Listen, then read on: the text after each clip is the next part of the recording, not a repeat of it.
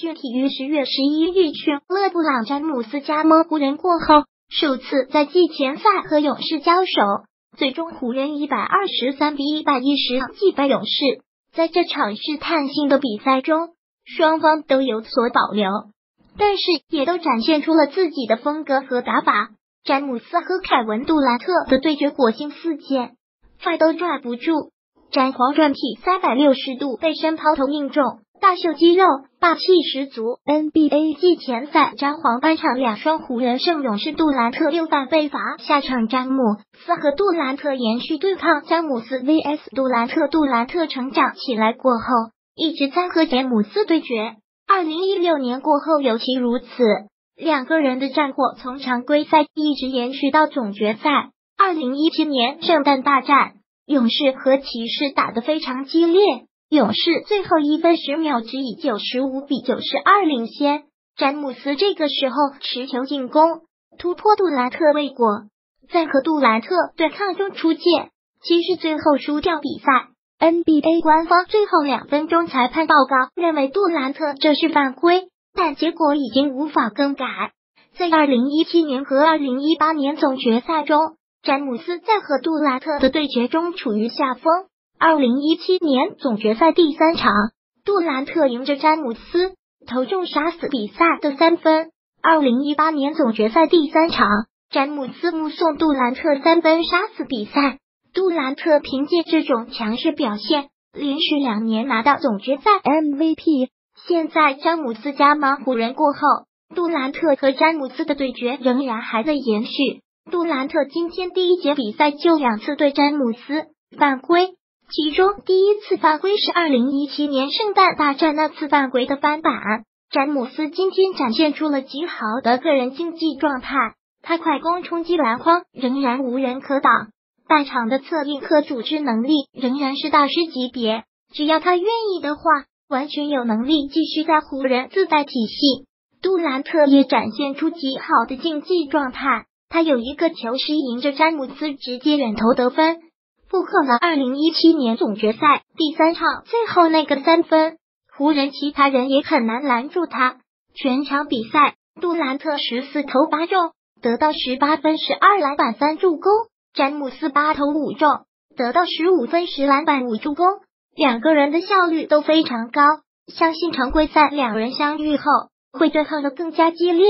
勇士和湖人的对决和保留朗多和波尔，二零一八到一九赛季常规赛马上就要开始。今天的季前赛是湖人和勇士两支球队都属第二场季前赛，所以两支球队第一节都打得非常认真，基本展示出了两队的战术风格和人员轮换情况。湖人，在比赛中非常强调打快，尤其是攻防转换当中，非常强调防守反击速度和衔接段进攻。波图第一节在快攻反击中投中一个三分，这点湖人和勇士非常相似，两支球队就像镜子内外。这其实不奇怪，鲁克沃顿曾是史蒂夫科尔的首席助教，两个人的战术体系本来就有一脉相承的味道，这也是湖人会聘用沃顿。作为主教练的主要原因，两支球队首节节奏非常快，靠起来打场面很好。看。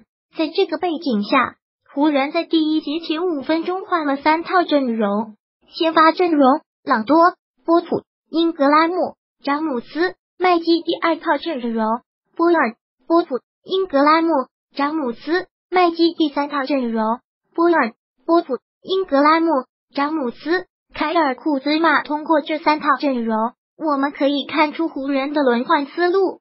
波尔复出过后，他的投篮仍然是歪把子机枪，将带领第二阵容解决第二阵容组织能力不足问题。库兹马顶替麦基上场过后，出任中锋。湖人打死亡五小阵容，科尔针对湖人首节的调整也有进行针对。在第二节中段，用伊戈达拉换下达米安琼斯，用乔丹贝尔出任中锋，打死亡无响。因为格林的缺阵和贝尔状态不佳，勇士这套阵容没有收到预期效果。从第二节比赛开始，两支球队都有些玩票性质了。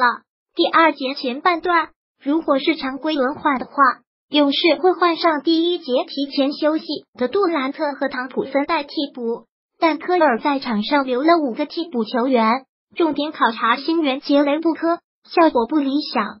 在下半场比赛中，沃顿照常让詹姆斯休息，比赛变成勇士一大四小阵容琼斯中锋的演练，失去了参考价值。比赛结果也变得没有多少意义。勇士湖人能否在西决相遇？詹姆斯要率队崛起。在今天的季前赛结束过后，勇士和湖人还有一场季前赛。两支球队在接下来这场季前赛中，极有可能也是玩票性质。因为勇士打法成熟，核心球员状态不错，没有必要再借助季前赛找状态和磨合阵容。湖人这边通过前边几场季前赛的磨合和演练。基本战术思路也基本理清，詹姆斯、英格拉姆、库兹马等人渐入佳境。最后一场季前赛估计也不会像火箭那么认真打。现在对于湖人和勇士的猜想，主要是集中在常规赛和季后赛的对决。那湖人在詹姆斯率领下有没有实力和勇士争夺总决赛资格呢？从目前西部的形势和湖人实力来看。非常非常难。湖人，在对阵勇士和之前的季前赛中暴露出很多问题，比如说三分能力极差，防守没有达到预期，第二阵容打法凌乱，缺少一个好的组织者等等。在对阵勇士的比赛中，湖人三分二十三投七中，命中率只有百分之三十点四。这样的湖人打不赢勇士、火箭、雷霆，甚至可能打不赢爵士。掘金等球队进入西决难上加难。至于勇士，二零一八年夏天阵容稳定，提前预定了西决名额，甚至总决赛名额。